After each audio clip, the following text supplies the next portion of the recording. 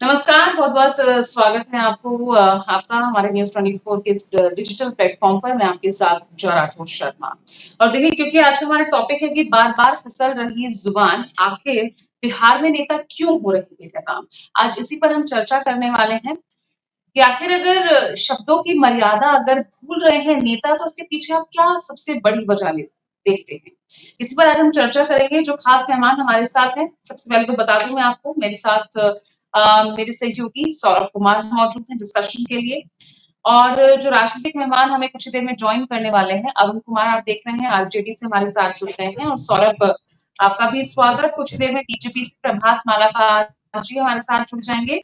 प्रतिभा सिंह, प्रवक्ता जेडीयू से हमारे साथ होंगी मौजूद। और हसनैन कैसर साहब कांग्रेस से हमारे साथ मौजूद होंगे, जो कि देखिए, उन्होंने ज्वाइन कर दिया है। चलिए, स्वागत हसनैन जी। तो सौरभ, शुरुआत आपसे ही कर रही हूँ। जरा समझना चाहूँगी, क्योंकि सौरभ, ये सिर्फ़ बिहार की बात नहीं है, या सिर्फ़ 2024 के इन चुनावों की बात नहीं है। आप लोकसभा चुनाव देख लीजिए, आप किसी भी राज्य में होने वाले विधानसभा चुनाव देख लीजिए। मुद्दों पर शुरुआत में तो बात होती है, लेकिन जैसे जैसे हम चुनाव के नज़दीक आ जाते हैं, मुद्दों से हटकर ये चुनाव व्यक्तिगत टीका टिप्पणी पर चला जाता है। तो क्यों क्यों ऐसी स्थितियाँ नज़र आती है? और इस बार भी हम वही सब देख रहे हैं। बिहार का ही आप एग्ज़ाम्पल ले लीजिए। नीतीश कुमार पिछले दिनों किस तरह से लालू के परिवार पर तंज कसते नज़र आए थे। ज़ुबान कैसे फिसल रही है? क्या इसके पीछे आप बड़ी वजह देखते हैं? सॉरी जी, बिल्कुल पूजा, सबसे बड़ी वजह है कि नेताओं का टेंशन और फ्रस्ट्रेशन। अगर आप चुनाव प्रचार में जा रहे हैं तो निश्चित तौर पर आपको भाषा की मर्यादा का ध्यान रखना चाहिए, कारण कि आप जनता को संबोधित कर रहे हैं। और सबसे बड़ी बात है कि आप एक बड़े नेता हैं और 30-40 सालों का अनुभव आपके पास है और जनता को आप संबोधित करते हैं, जनता आपको आदर्श मानती है। अगर आप उनके सामने ऐसी भाषा का इस्तेमाल करेंगे तो कहीं ना कहीं जो जनता सामने आपको सुन रही है, उनको भी, उनके मन में भी कहीं ना कहीं ठेस पहुंचेगा। उनको भी लगेगा कि मैं इस नेता को इतने दिन से आदर्श क्यों मान रहा था? लेकिन सबसे बड़ी बात है कि एक फ्लो में अगर आप टेंशन में रहते हैं फ्रस्ट्रेशन में रहते हैं तो एक फ्लो में आप बोलते चले जाते हैं उस समय आपको समझ में नहीं आता है कि आप क्या बोल रहे हैं। लेकिन हाँ बाद में आपको समझ में आता है लेकिन यहाँ बात आमने सामने की होती है। यहाँ अगर आपने भाषा का मर्यादा तोड़ा तो हम भाषा का मर्यादा में रह के आपके सवालों का जवाब नहीं देंगे। दूसरे तरफ़ से भी तोड़ी जा रही है।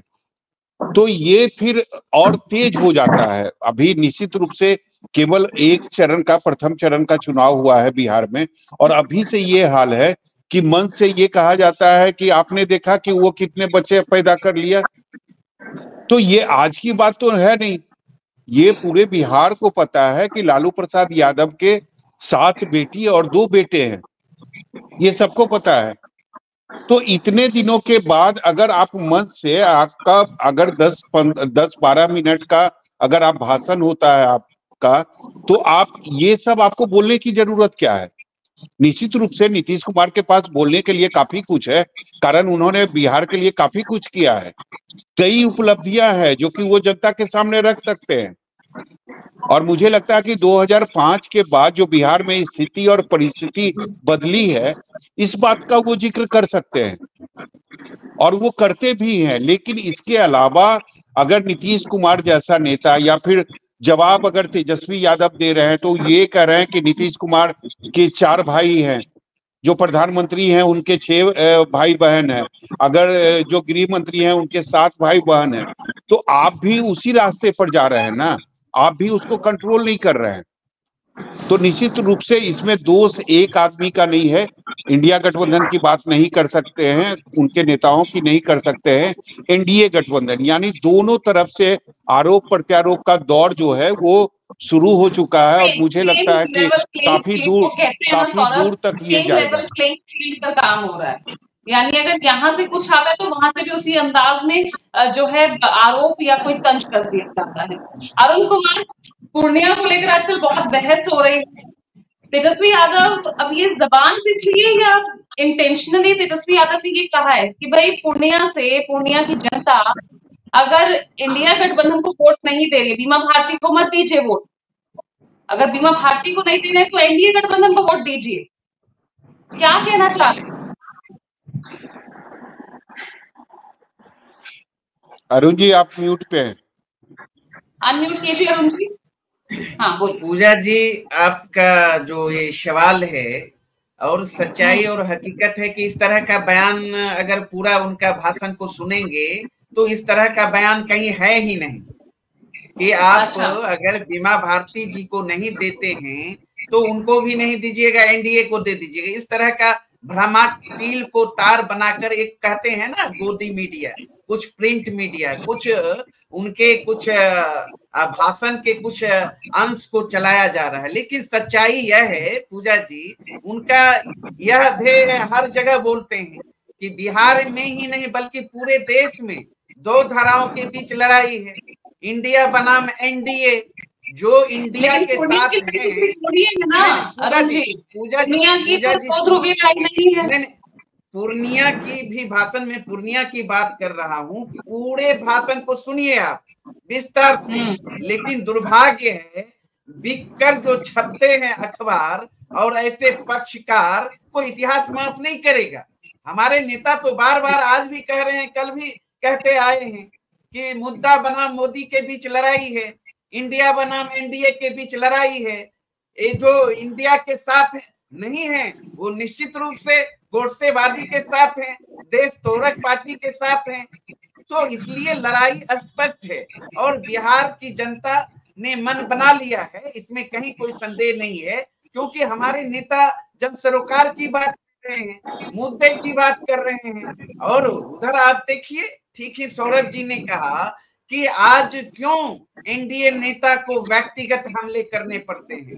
कौन किनके, कितने बच्चे हैं? तो बेटी, बाप के रिश्ते को कलंकित किया जा रहा है। तो लगातार, चूँकि एनडीए नेताओं के पास कोई मुद्दा नहीं है, कोई उपलब्धियाँ गिनाने के लिए नहीं है, सत्रह साल से बिहार में एनडीए की सरकार, दस साल से केंद्र में एनडीए की सरकार नरेंद्र मोदी जी की सरकार इस उनको पर इस पर बताना मैं बाद में चाहिए। बात करूँगी। इस पर मैं बात करूँगी। मुद्दों पर हम बाद में आएँगे लेकिन इस पर हम बात करेंगे बयान जो है जो बयान आ रहे हैं उनकी ज़ुबान में फिसलती क्यों नज़र आती है? मुझे तो पहले तो बयान दिया बयान हर जगह चल रहा है। नहीं नहीं पूजा जी वही तो बोल रहे हैं। आप देखिए ना हमारे नेता आदरणीय तेजस्वी यादव जी तो मुद्दे की बात करते हैं। गरीबी बेरोजगारी भूखमरी तमाम सवालों पर बात करते हैं। लेकिन एनडीए के नेता क्या- कि जिनके खिलाफ खड़े हैं उन्हीं को वोट देने की अपील तेजस्वी कर देते हैं। नहीं यही फिर तो आप हमने तो अपनी बातों में कहा कि आप सुनिए तेजस्वी यादव जी के भाषण को। बताइए, ये सवाल है। हमने। ये तो पक- पक्षकार क्या बयान था? क्या बयान तेजस्वी यादव ने दिया इसको इस तरीके क्या कुछ छेड़छाड़ उस बयान से मीडिया कर रहा है क्या जो आरोप लगा रहे हैं अरुण कुमार? या कुछ सेकंड हम किस तरह का वीडियो पेश कर रहे हैं? जो बयान है वो सबके सामने है। सौरभ जी, बिल्कुल जो तेजस्वी यादव ने बयान दिया है, वो सबके सामने है। लेकिन अगर पूरे अरुण जी पूरे भाषण की बात कर रहे हैं तो तेजस्वी यादव का बोलने का क्या मतलब था, नहीं मतलब था, इससे कोई फ़र्क नहीं पड़ता। है आप कैमरे के हम्म। सामने क्या बोल रहे हैं? आप भाषण में क्या बोल रहे हैं? निश्चित तौर पर तेजस्वी यादव यही कहना चाहते होंगे कि अगर आप बीमा भारती को वोट नहीं देते हैं इसका मतलब ये माना जाएगा कि आप एनडीए का समर्थन कर रहे हैं या एनडीए को वोट कर रहे हैं। लेकिन सवाल वो नहीं है। सवाल ये है कि कैमरे के सामने या अपने भाषण में तेजस्वी यादव ने क्या क्या कहा? तेजस्वी यादव ने ये कहा कि अगर आप बीमा भारती को वोट नहीं करते हैं तो आप एनडीए को वोट करें। मतलब पप्पू यादव को वोट ना करें उनके नहीं, नहीं, कहने के पीछे का जो मतलब जी सौरभ जी पूरी लाइन फ़र्स्ट लाइन में आपने जो कहा सार उनका वही था। लेकिन आप जो कह रहे हैं वही शॉर्ट क्लिप पूरा अगर संदर्भ देखेंगे ईमानदारी से आपके पास क्लिप होगा सौरभ जी।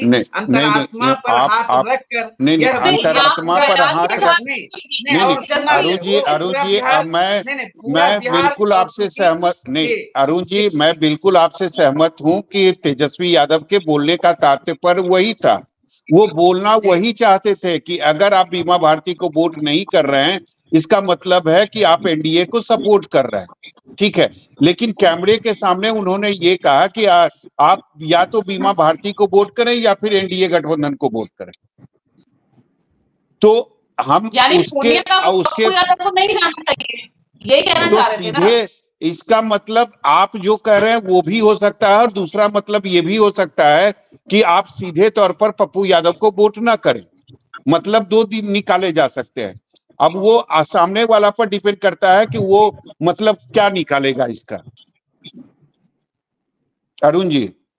नहीं नहीं वो तो मेरे पास पूरा वीडियो है सौरभ जी जिस तरह की बात आप बोल रहे हैं पूरा पूरा वीडियो है पूरा वीडियो है पूरा जब आप एक बार सुन लीजिए ना अरुण जी आप एक बार सुन लीजिए खुद सुन मैं सुना रहा हूँ। सुना रहे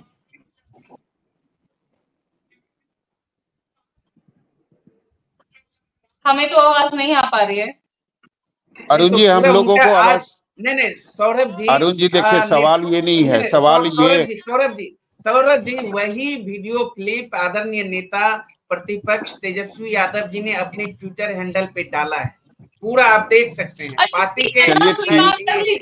अरुण जी अरुण जी लेकिन ये- अरुण जी- अरुण जी। सौरभ जी सौरभ जी यह।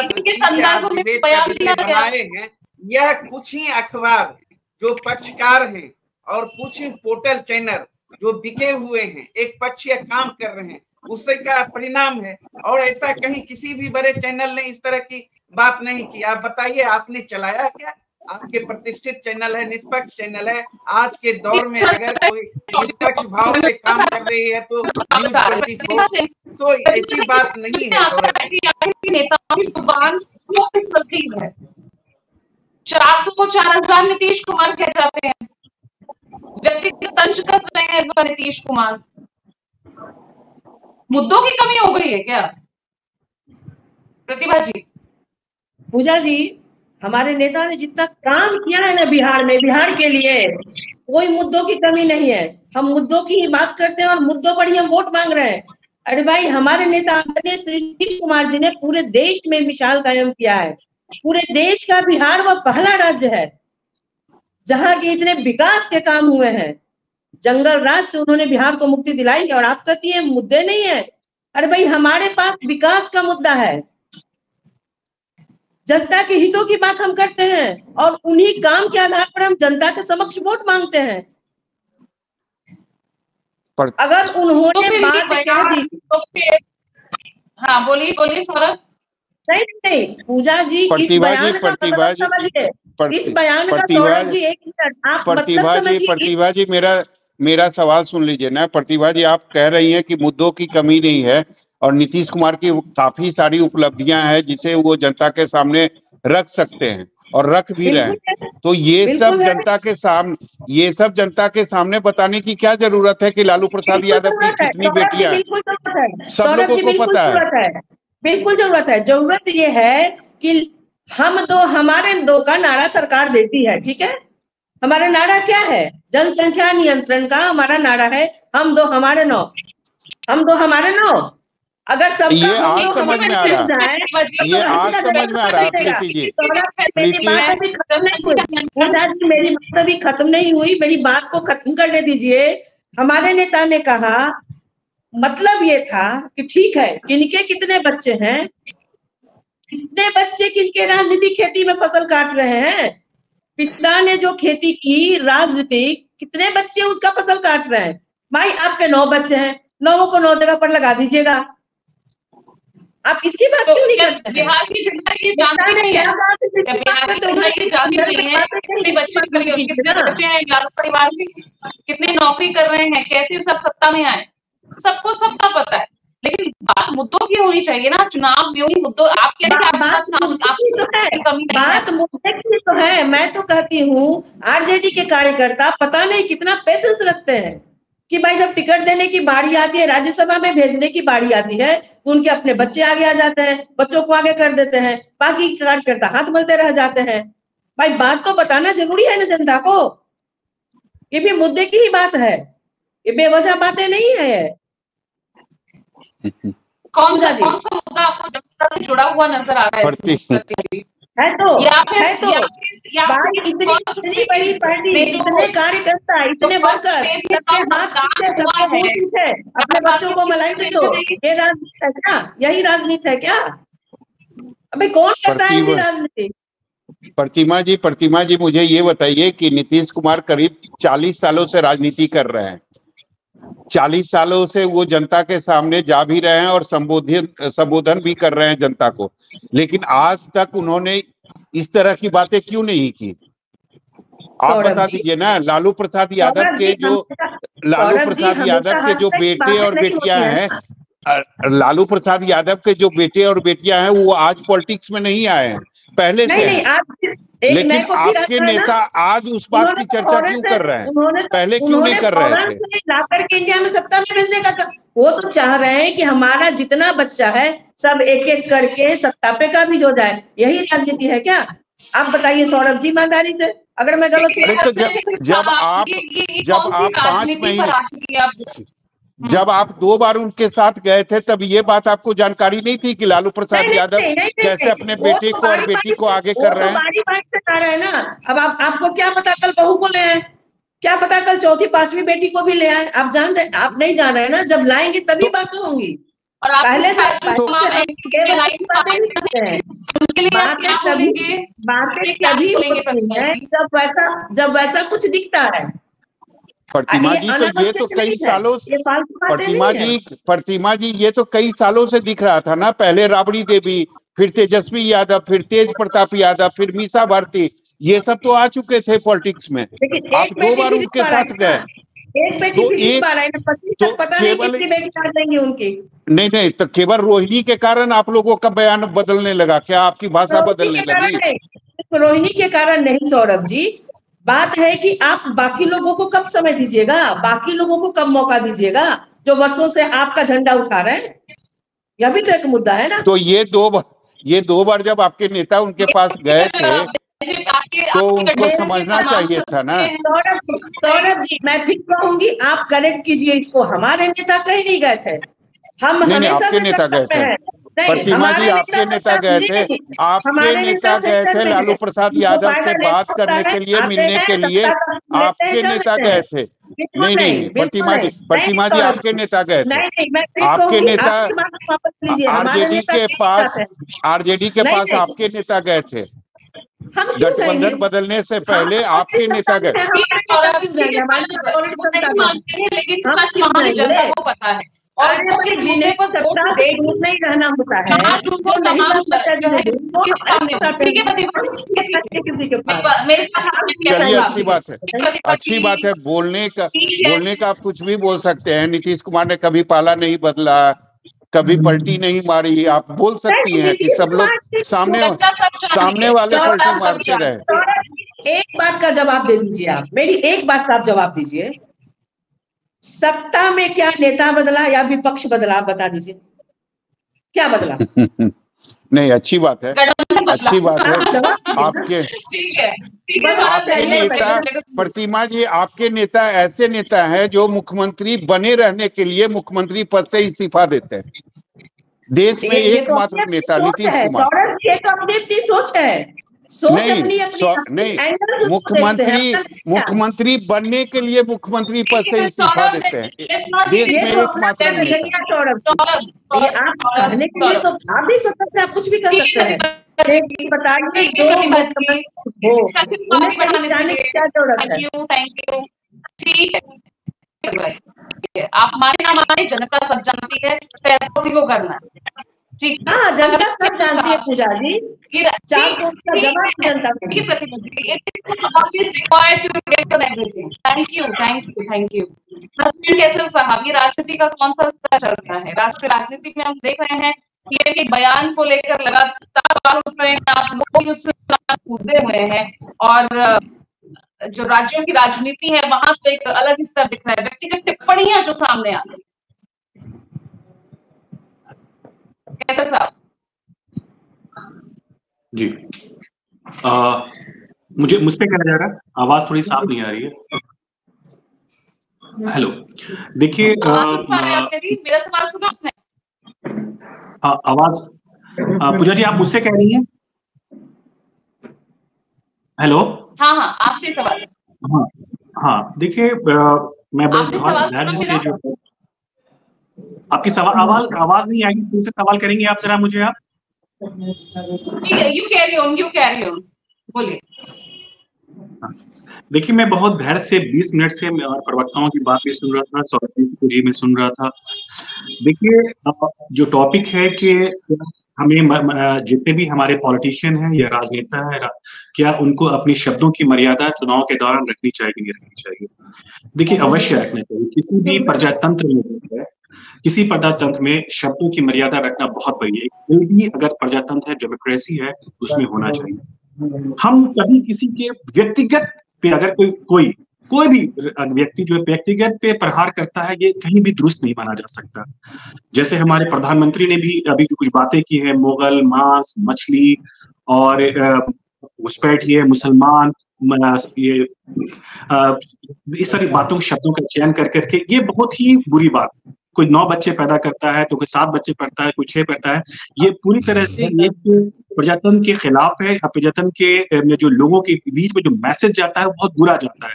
हमें इस बात का पूरा ख्याल रखना चाहिए और हमें इस बात को कभी लड़ाई को कैसे देख रहे हैं आप कैसर साहब? जब तेजस्वी यादव भी सीधा कहते हैं कि भाई अगर इंडिया को वोट नहीं तो समझ अभी जो है जो पूर्णिया में जो पप्पू यादव हमारे गठबंधन के कैंडिडेट नहीं है हमारे गठबंधन के कैंडिडेट जो बनाया गया है उनको है तो हम उनके बारे में कहेंगे हम सब हम्म। कांग्रेस के लोग भी क्योंकि हमारे इंडिया हाँ इंडिया गठबंधन तो देखिए। देखिए जो जी गठबंधन के उम्मीदवार को हमारे राहुल गांधी ने भी, हमारे जो मल्लिकार्जुन खड़गे ने भी, जो भी हमारे अखिलेश यादव जी ने भी, सबने कहा है कि इंडिया गठबंधन के जो उम्मीदवार है, उनको वोट देना है। पप्पू यादव के बारे में बातें नहीं हो रही है। वो निर्दलीय खड़े हुए हैं, वो उनकी अपनी मंशा थी। ठीक है, कांग्रेस को उन्होंने ज्वाइन किया था, लेकिन इंडिपेंडेंट खड़े हो गए। तो कभी गठबंधन जो है उसके फेवर में जो है कांग्रेस जो कभी भी पप्पू यादव के फेवर में बात नहीं की थी। मेरी बात एक और मैं कहना चाहूँगा प्रतिभा सिंह जी। देखिए प्रतिभा सिंह जी की बातें मैं सुन करके मैं बड़ा आहत हम्म। हुआ। एक वो महिला है अब महिला होकर के नौ बच्चों की बातें कर रही थी। देखिए बच्चे होना कोई गलत बात नहीं है। आज दुनिया जो है आबादी का जो विश्लेषण करते हैं, आबादी बढ़ने से वो नाकामयाबी नहीं होती है। ये पूरी दुनिया की सेंसस देखा गई बहुत सारे इकोनॉमिस्ट ने इसके बारे में बात कही नेशनल लेवल पे इंटरनेशनल लेवल पे। आप ये देखिए कि चाइना ने वन चाइल्ड पॉलिसी लाई थी, उसने जो है वन चाइल्ड पॉलिसी में जो है, उसको अपनी उसको तोड़ना पड़ा, क्योंकि वहाँ पे जो है नॉन वर्किंग लोग जो जिसे हम लोग बच्चे कहते हैं और बूढ़े होते हैं, वो जो कि डिपेंडेंट होते हैं, इसलिए जो यूथ होते हैं, उनको काम करने के लिए, अपनी पॉपुलेशन को बढ़ाने के लिए वन चाइल्ड जो पॉलिसी थी, उसको उन्होंने ठीक किया।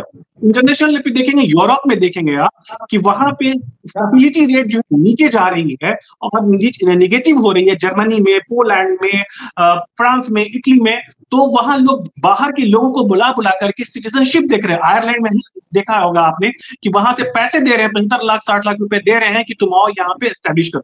तो पॉपुलेशन कभी भी फैक्टर नहीं होता है देश के डेवलपमेंट में।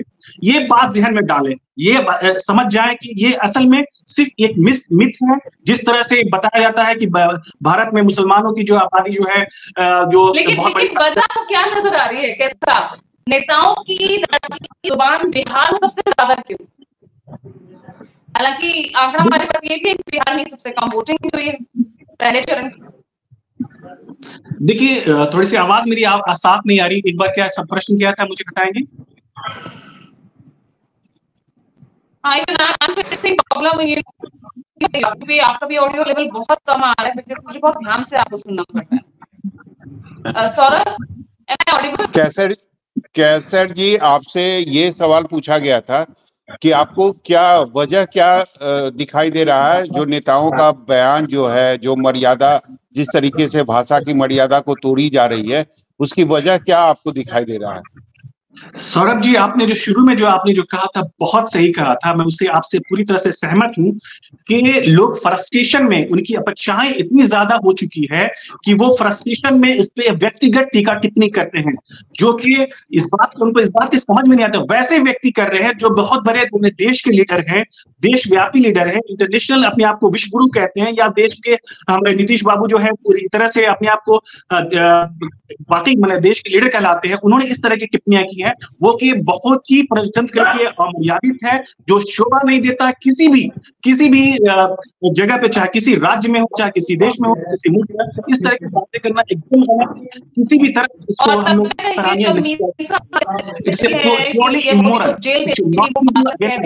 बल्कि मैं तो चाहूँगा अगर इस तरह की बातें की जाती है तो उनको इसकी माफ़ी मांगनी चाहिए आगे कैसर जी ये केवल नीतीश कुमार की बात नहीं है ना। कैसर जी कैसर जी, ये केवल नीतीश कुमार की बात नहीं है ना। अगर आप मीसा भारती के बयान को अगर आप देखेंगे, अगर आप तेजस्वी यादव के बयान को देखेंगे तो वो पलटवार ही है। जिस तरीके का बयान नीतीश कुमार का है सेम उसी तरीके से थोड़ा सा ऊपर नीचे, इन लोगों का भी बयान है कि अगर इंडिया गठबंधन की सरकार केंद्र में बनी तो सारे बीजेपी के नेताओं को जेल भेज देंगे। तेजस्वी यादव कल भेज देना ये बता रहे हैं। ये, जिस ये कोई बड़ा ये व्यक्तिगत था अगर आपने क्योंकि आपने देखा कि एक पूरी तरह से जो है अभी सत्ता पक्ष के लोग किस तरह से जो विपक्ष के लोगों को बिना कारण के भी ईडी का इस्तेमाल करके एक कानून है जानते सबसे बड़ा डिमेरिट का ईडी का जो कानून बनाया गया है कि बिना सवाल की आप चाहे बिना किसी प्रूफ के आप चाहे तो अरेस्ट करके इंटरोगेशन के नाम पे तो कर सकते हैं। केजरीवाल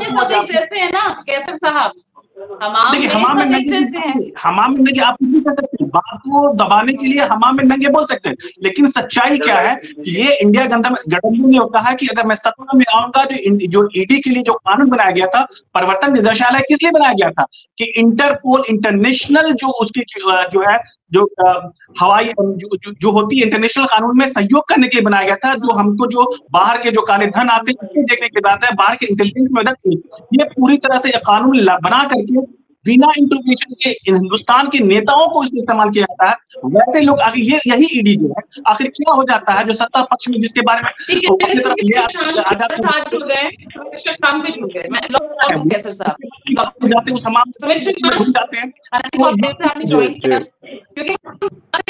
बिहार में नेताओं के भाषाओं के गिरते स्तर को लेकर। क्या वजह आपको दिख रही है? बिहार में क्यों इतने केसेस कभी आपके आए हैं बिहार। विपक्ष की हम लगातार बात भी कर रहे हैं, चाहे तेजस्वी यादव हो भारती हो। क्या वजह है? क्योंकि विपक्ष एक एक रीजन ये ज़रूर दे रहा है कि अगर एक कम्युनिटी को टारगेट अगर बीजेपी करती है, या आपके एलाय करते हैं, व्यक्तिगत टिप्पणी करते हैं तो वो पहले चरण के मतदान का जो दिख रहा है ना फोर्टी परसेंटेज जो जितना कम रहा है। वो एक बहुत बड़ी वजह आ रही है शशांक। पूजा जी आवाज़ जा रही है मेरी? पूजा जी आवाज़ जा रही है मेरी? हाँ हाँ देखिए पूजा जी मैं बहुत अच्छे से आपका प्रश्न सुन नहीं पाया हूँ आवाज़ कट रही थी लेकिन फिर भी मैं बताना चाहूँगा कि भारतीय जनता पार्टी भारतीय जनता पार्टी ने हमेशा से सबके साथ सबकी उन्नति के लिए काम किया है। और ये लगातार भारतीय जनता पार्टी के ऊपर ब्लेम गेम जो है, ये ये इंडिया अलायंस के लोग जो है, ये खेल रहे हैं। ये लोग कभी भी अपनी नीति, नियत और चरित्र को कभी नहीं देखते हैं, लेकिन दूसरे के नीति, नियत और चरित्र पर दाग लगाने का काम करते हैं। आज आदरणीय प्रधानमंत्री नरेंद्र मोदी जी, जिन्हें पूरा देश गरीबों के बेटे के रूप में जानता है गरीबों की आवाज़ के रूप में जानता है तो वो जिस प्रकार से काम कर रहे हैं, माताओं के लिए, बहनों के लिए, बिहार की युवाओं के लिए, संपूर्ण देश के युवाओं के लिए, और संपूर्ण देश के लिए, ये बार बार नौकरी की बात करते हैं। मैं नौकरी पर डाटा निकाल करके आया हूँ कि लाखों नौकरियाँ जो है, भारतीय जनता पार्टी के नेतृत्व में प्रदान की गई। आज भारत जो है, वो पांचवी सबसे बड़ी जीडीपी बना है। इसके लिए सबसे महत्वपूर्ण क्या था?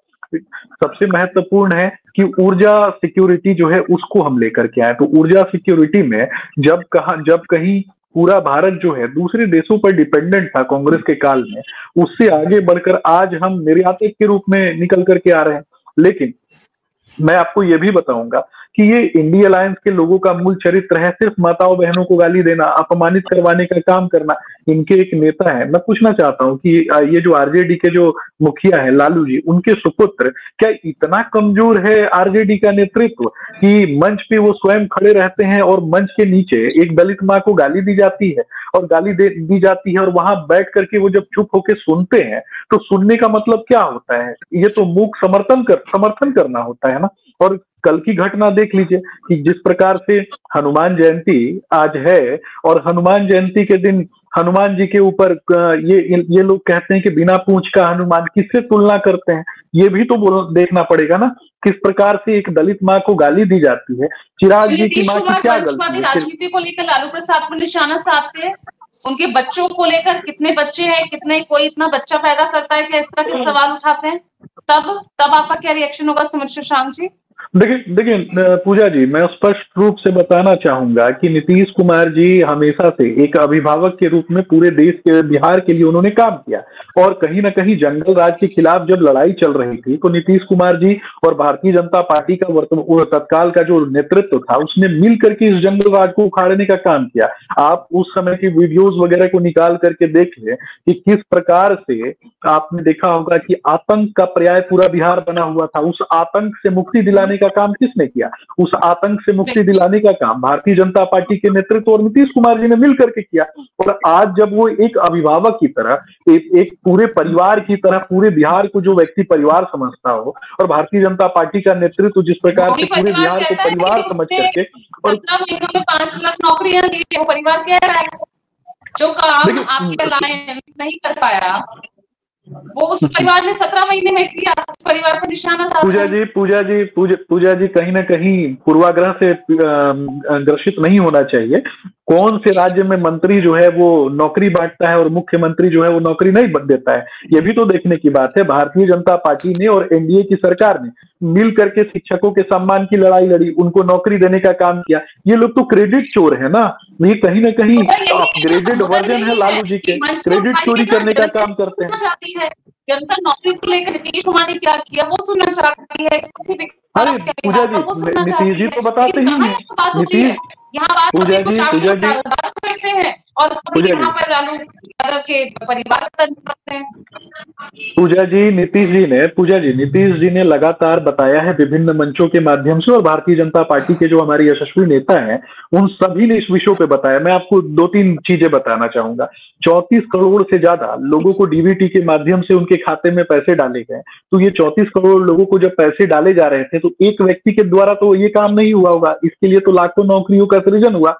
चौतीस करोड़ लोगों को आयुष्मान भारत योजना के माध्यम से उनका इलाज करवाया गया तो ये योजना जो है लाने के समय क्या डॉक्टर इंजीनियर डॉक्टर्स जो हैं और नर्सेज जो हैं उनकी बहाली नहीं हुई थी क्या ये वहाँ बहाली हुई थी तभी तो उन लोगों का इलाज हुआ पच्चीस करोड़ लोगों को जी जी क्या पूछा आपने जी क्या पूछा ये कह रहे थे देखिए, पूजा जी, तेजस्वी जी कुछ भी बोलते रहे, तेजस्वी जी अभी काफ़ी कम उम्र है उनकी और वो लालू जी के अपग्रेडेड वर्जन है और जिस प्रकार से लालू जी ना, लालू जी कहीं ना कहीं चारा चोरी करने का लालू जी ने काम किया, अलकतरा चोरी करने का काम किया, उन्हीं के तो अपग्रेडेड वर्जन है, वो इसी प्रकार का सब सगुफा छोड़ते रहेंगे।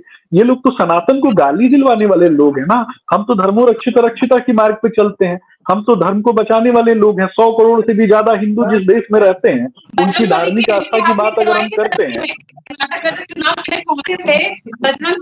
करवाने वाले आप लोग भी थे नतीजा तो पूजा नहीं आपको? पूजा जी पूजा जी पूजा जी। कि बात चाहे बजरंग बली की हो चाहे मर्यादा पुरुषोत्तम भगवान श्री रामचंद्र जी की हो। मर्यादा पुरुषोत्तम श्री रामचंद्र जी के जीवन चरित्र विचार और संस्कारों पर भारतीय जनता पार्टी की नींव रखी हुई है। अगर कोई व्यक्ति हमें आ, आ, अगर कोई व्यक्ति अगर रामचंद्र जी के संस्कारों को गाली देने का काम करेगा तो हम तो लड़ाई लड़ेंगे ना। कोई व्यक्ति रामचरित्र मानस को पोटेशियम साइनाइड बताने का काम करेगा तो हम तो लड़ाई लड़ेंगे ना। अगर कोई हिंदुओं के आत्म सम्मान पे उंगली उठाएगा तो हम तो लड़ाई लड़ेंगे ना। उनके अधिकारों को अगर कोई छीनने की बात करेगा तो हम तो लड़ाई लड़ेंगे ना हम तो सीना तान के कहते हैं कि सौ करोड़ से भी ज़्यादा देश में जो हिंदू हैं उनकी धार्मिक आस्था का सम्मान अगर कोई नहीं करता है तो उसके खिलाफ हम लड़ाई लड़ने का काम करते हैं और उनकी रक्षा के लिए प्रतिबद्धता के साथ हम काम करेंगे। हम तो करते भी देखिए पूजा जी पूजा जी कभी भी पूजा जी कभी भी पूजा जी पूजा जी पूजा जी मैं भी आपको मैं, मैंने भी आपके चैनल के माध्यम से पूजा जी हाँ। पूजा जी मैंने भी आपके चैनल के माध्यम हाँ। से बहुत बार बोला है कि मदरसा छाप मदरसा छाप गुंडा तंत्र के खिलाफ भारतीय जनता पार्टी हमेशा से लड़ती रहती है हरा रंग का पूछ रंगा के तो घूमने वाले जो लोग हैं जो समय पर कभी हरा रंग का पूछ रंगा लेते हैं कभी माथे पे मदरसा से निकला हुआ पेंट लगा के उसका नाम चंदन रख देते हैं इस पर भी बोलता हूँ लेकिन ये मदरसा छाप गुंडा तंत्र कहने का क्या मतलब होता है ये भी समझना है कहीं ना कहीं मदरसा में बैठकर अगर मुसलमानों को कोई बरगलाने का काम करेगा देश विरोधी गतिविधियों में जबरन शामिल कराने का काम करेगा तो निश्चित रूप से वैसे लोगों के खिलाफ तो बोलना पड़ेगा ना